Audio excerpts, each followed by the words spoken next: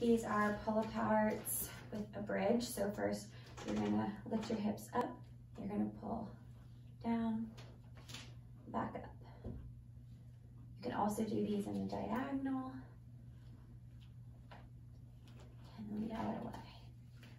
Working your glutes and your postural muscles all at the same time.